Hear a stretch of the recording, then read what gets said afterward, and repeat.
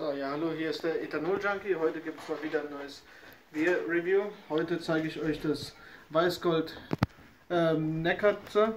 Das ist ein Allgäuer Sonntagsbier, wie es hier so schön beschrieben ist.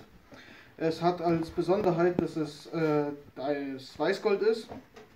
Und das ist anscheinend die erste Allgäuer Biermarke. Und wird seit 1516 gebraut. Ist ein bayerisches Bier und Slow Brewing, was weiß ich, was das heißt mache das jetzt erstmal auf. So schaut dann der Deckel aus. Und es gibt jetzt den Testschluck.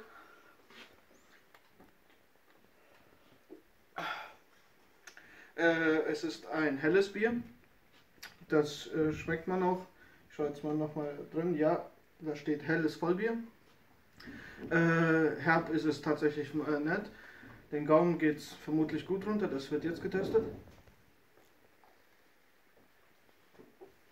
Und es hat eine schöne Frische, eine schöne Vollmundigkeit im, im halt Mundbereich, in der Kehle. Es ist hopfig, wirklich sehr. Und ich finde, das lässt sich prima verzehren. Also Empfehlung meinerseits, falls man aus Bayern kommt. Und jetzt wird der Trunk verschlungen.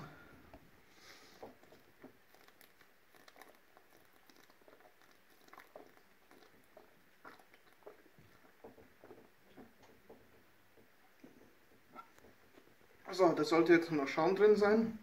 Erstmal schaut er dann den Walle, der mir dieses Bier gesponsert hat.